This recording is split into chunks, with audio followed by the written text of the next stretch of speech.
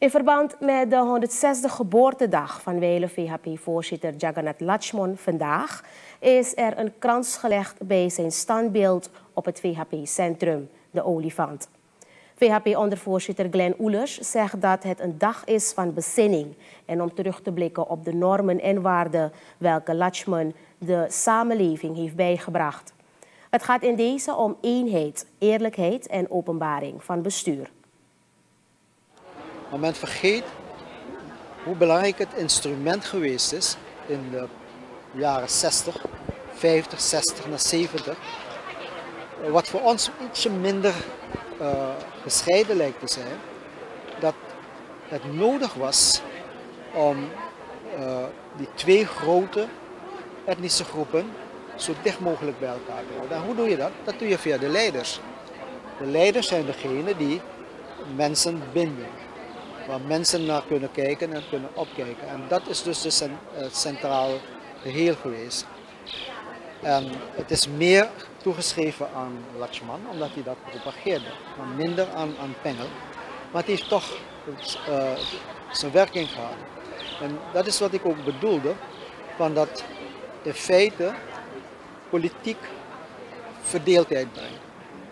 Omdat alle politieke partijen langs etnische lijnen zijn uh, noem dat, opgericht en ook opereren. Volgens Oelers staan de deuren van de VHP open voor een ieder. Elke maatschappelijke of etnische groep is welkom. Dit zal volgens hem het hervormingsgevoel binnen de samenleving bevorderen.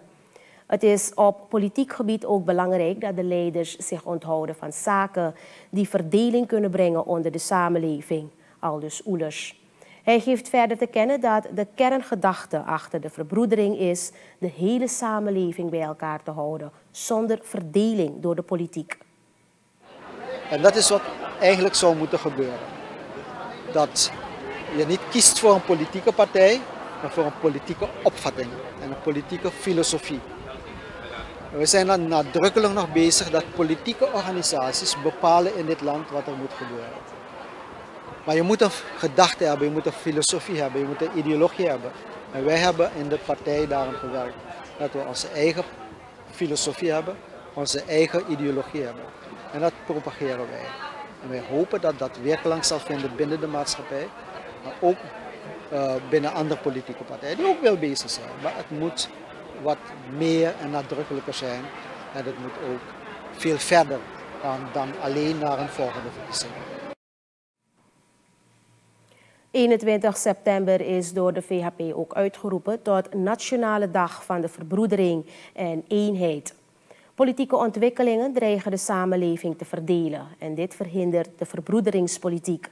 Daarom is het belangrijk ook het kiesstelsel dat op etnisch niveau gestoeld is aan te passen, aldus Oelers.